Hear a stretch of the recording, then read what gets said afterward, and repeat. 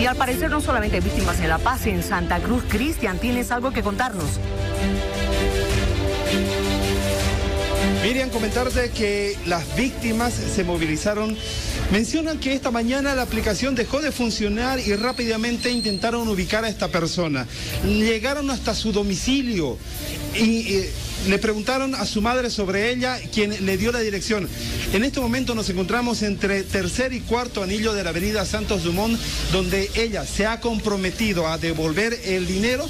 Hasta este lugar también ha llegado la unidad económico-financiera de la Fuerza Especial de Lucha contra el Crimen, quien va a gestionar. Existe una denuncia también aquí en Santa Cruz, tengo entendido que en La Paz también se ha formalizado una denuncia.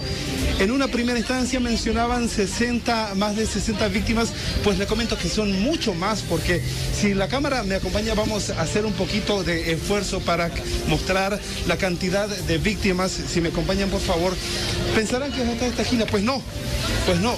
Vean ustedes la fila prácticamente está bordeando la cuadra, que es una cuadra bastante larga, de puras, puros jóvenes en su mayoría quienes apostaron por esta aplicación. Hemos conversado con algunos de ellos, quienes incluso nos decían han dado dinero que estaba destinado para sus estudios y ellos pensaron que iban a, conseguir un, un poco más de ganancias, sin embargo lo han perdido no, no pueden recuperar hasta el momento. Eh, tienen la esperanza que después de todo esto ya ellos vayan a recuperar.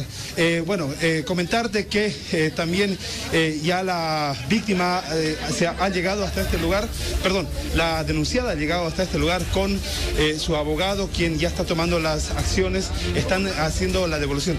En primera instancia se están organizando porque todo esto era, bueno, un alboroto, no había un orden y poco a poco se organizando todas estas personas para recibir el dinero que les corresponde, Miriam. Muy bien, mira, realmente nos sorprende.